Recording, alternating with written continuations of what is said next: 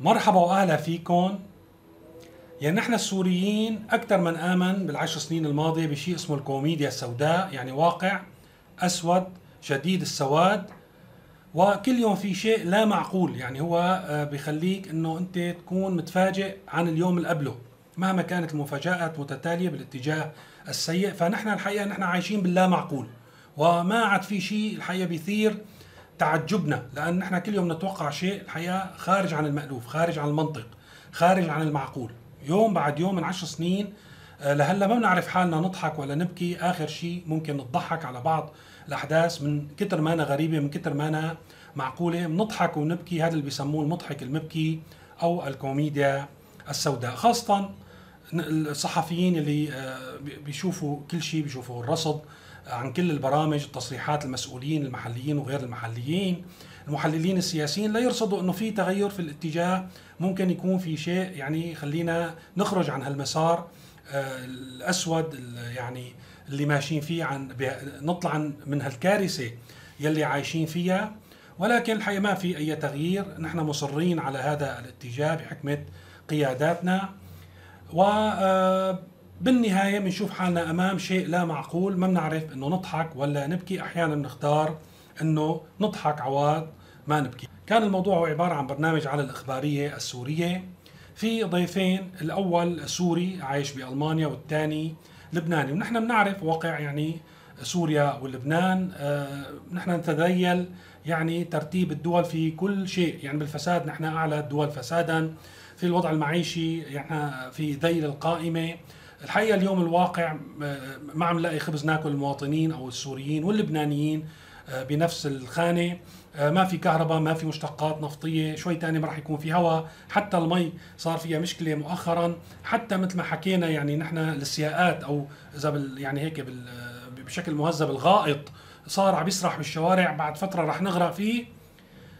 بيختار البرنامج والضيوف موضوع هو انهيار الاتحاد الأوروبي وانهيار حلف الناتو وانهيار العالم وانهيار الولايات المتحدة الأمريكية. وهن عم يحكوا بشيء منها يعني الفخر وابتسامة السخرية مرسومة على وجوههم نوع من التشفي يعني إنه نحن بحكمة قيادتنا والبلد الصغير سوريا ولبنان انتصر على كل القوى بالعالم. يعني هذا الشيء بتحسوه خلال الحلقة وبيستفزكم مرة ثانية ما بيطلع قدام الواحد إذا ما بده يبكي غير يضحك لأن ما في شيء ثاني يعمله.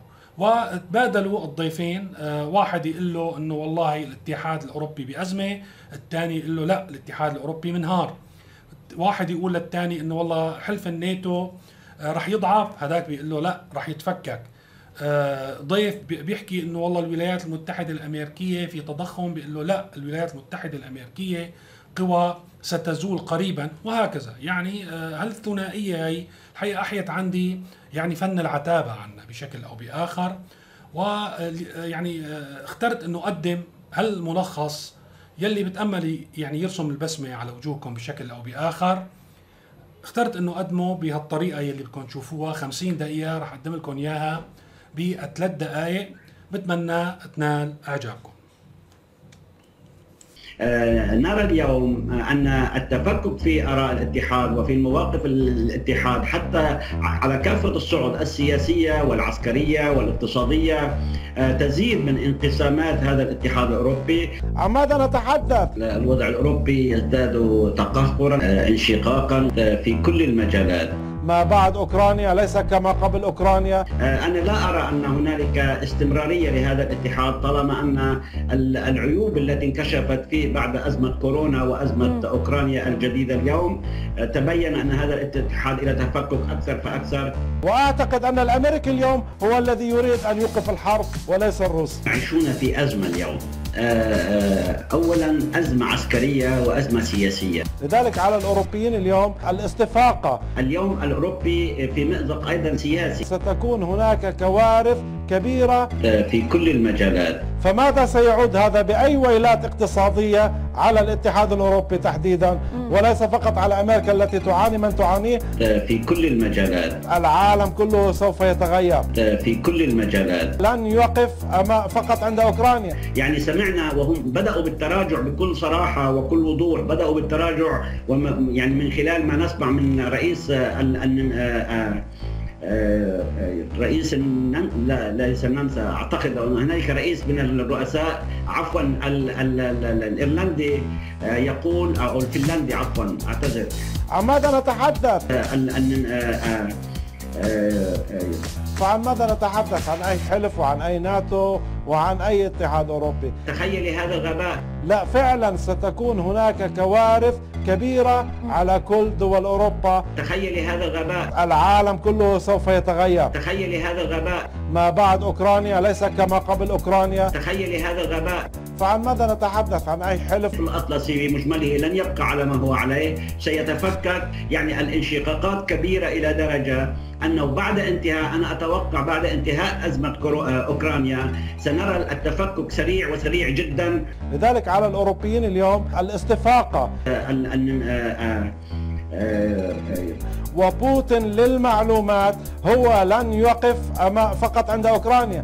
بل سيذهب إلى مولدوفيا والبلطيق وسيعيد كل بقايا الاتحاد السوفيتي. هم متفككون إلى أبعد الحدود. لا فعلا ستكون هناك كوارث كبيرة على كل دول أوروبا. ولن يبقى لا حلف ناتو على ما هو عليه ولا الاتحاد الأوروبي على ما هو. أعتقد أعتقد هذا اعتقادي الشخصي أن أن أوروبا ستواجه في هذا الشتاء إما حركات شعبية احتجاجية على على سوء المعيشة وإما أن تتغير كل النظام السياسي في السياسة الخارجية لهذه الدول الأوروبية. ويقول للفرنسيين عليكم بدل أن تأكلوا مثلا مرتين في أو ثلاث مرات في اليوم عليكم أن تأكلوا مرة واحدة.